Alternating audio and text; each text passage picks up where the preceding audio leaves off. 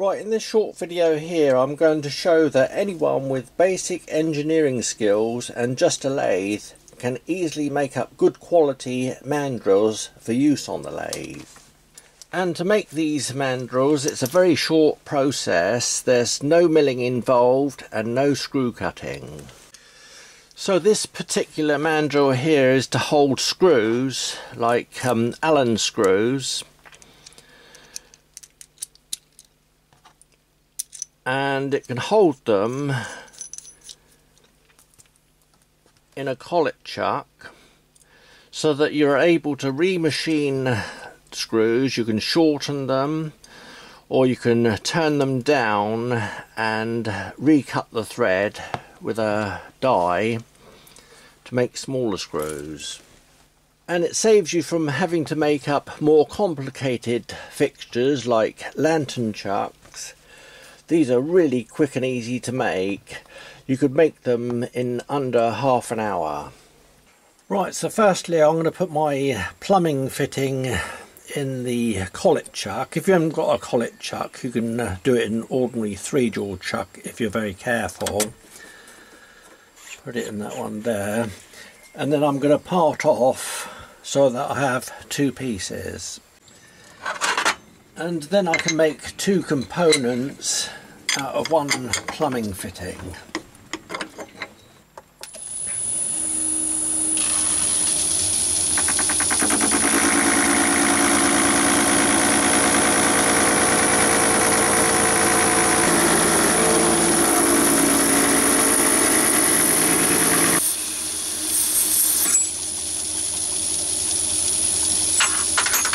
and then just deburr the back edge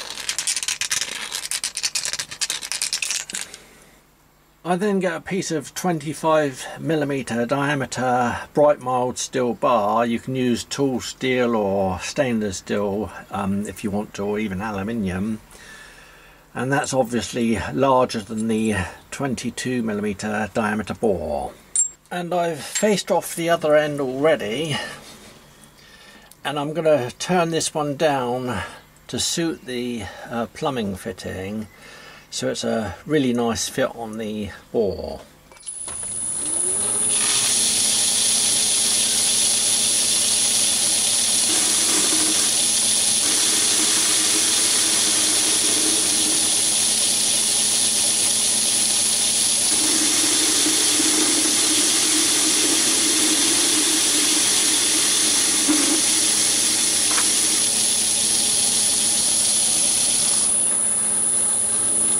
and it doesn't matter if you have a liney finish on that one it's all the better for when you put the plumbing fitting on.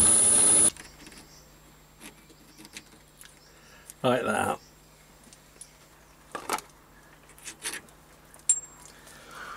And now I can uh, put Loctite 638 on the diameter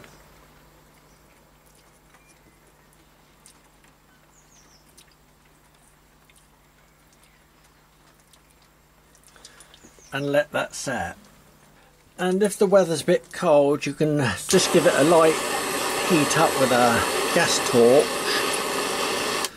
to make the Loctite 638 go off quicker. And now I centre drill it.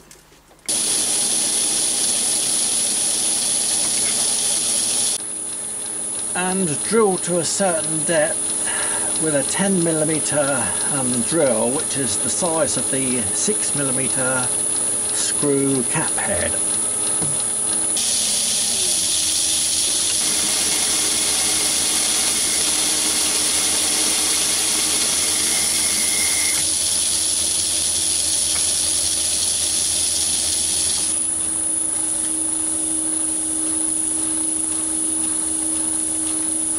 and then finish the bore face with a flat bottom drill or a 10mm end mill bit.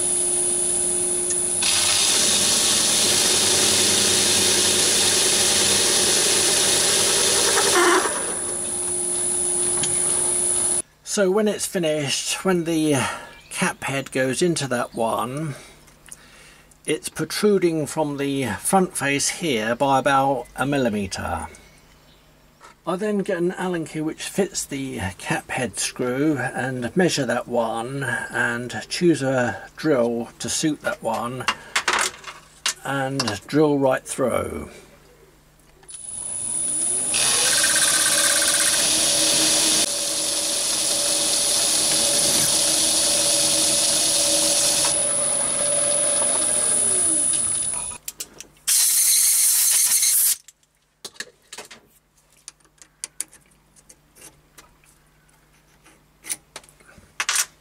I then drill and tap for a 6mm thread.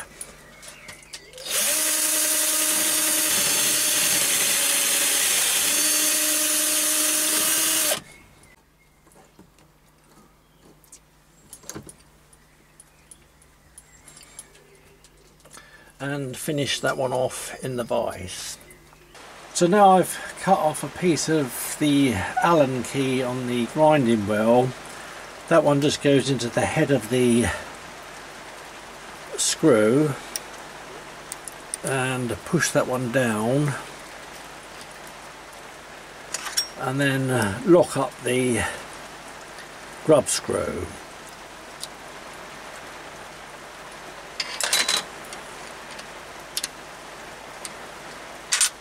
So it looks like that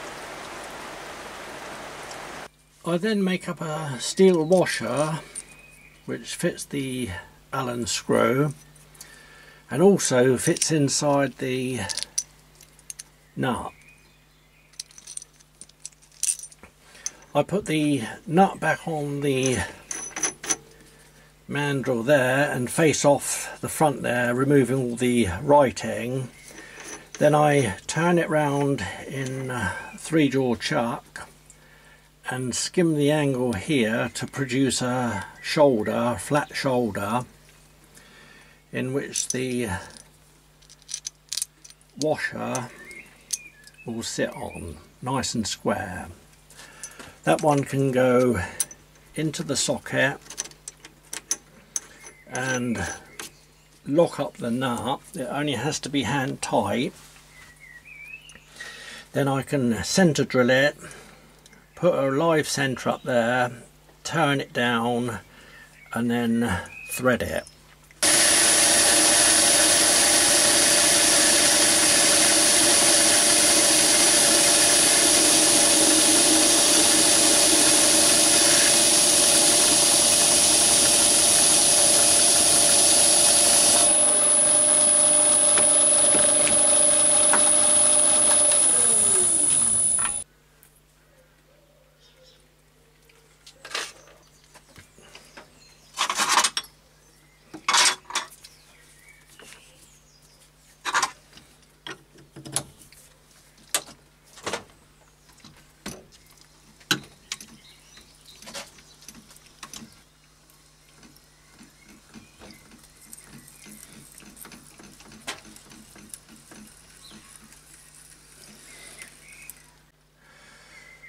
So that's the 6mm stainless steel Allen screw turned into a 2BA Allen screw and now I could just put it up in the collet chuck again and use this tool just to turn down that bit to the shoulder and finish off the thread right up to the cap head.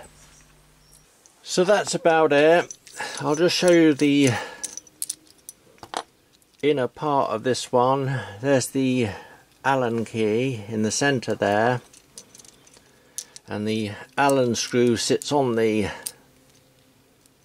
Allen key like that. It cannot turn.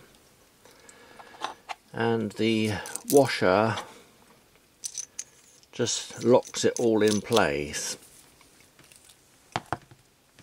and you can use plumbing fittings like this for all different types of chucks, mandrels and fixtures. They're easy to get hold of and relatively cheap to buy and like I showed if you use one like this you can make two mandrels out of the one fitting.